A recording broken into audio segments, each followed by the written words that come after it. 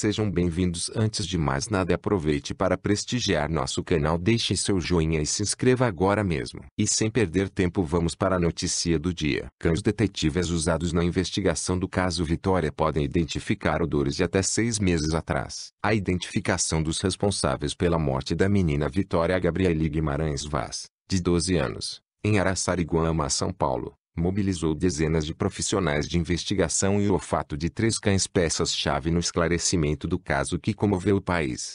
Veja tudo o que se sabe sobre o caso.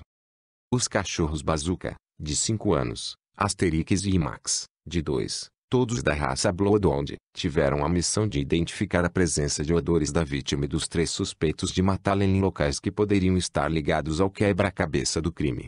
O servente de pedreiro Júlio César de Lima Erguesse, e o casal Bruno Marcel de Oliveira e Maiara Borges de Abrantes estão presos desde junho pela morte de Vitória, que saiu de casa para andar de patins no dia 8 de junho e foi achada amarrada e sem vida em um matagal da cidade. Os cães farejadores, sendo Max da Guarda Municipal de Tupeve e os outros dois do adestrador Fernando Baltarejo, apontaram o odor de Bruno na área onde o corpo foi achado e também o odor da vítima na casa do casal, em Mairenque, São Paulo.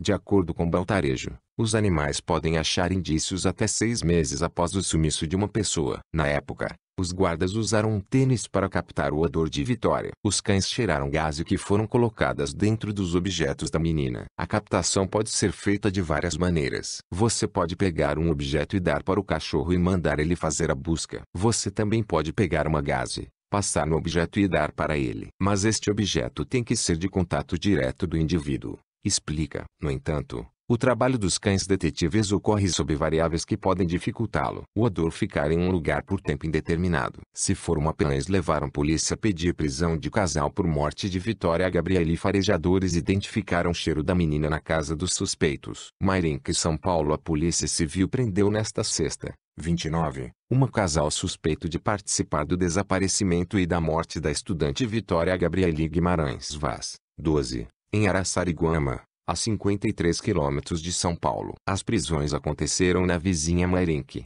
a 71 quilômetros de São Paulo, onde o casal mora. Vitória desapareceu no último dia 8, quando andava de patins perto de um ginásio. Foi encontrada morta oito dias depois, em um matagal na zona rural de Araçariguama. E aí, o que você achou? Deixe seu comentário. Obrigado.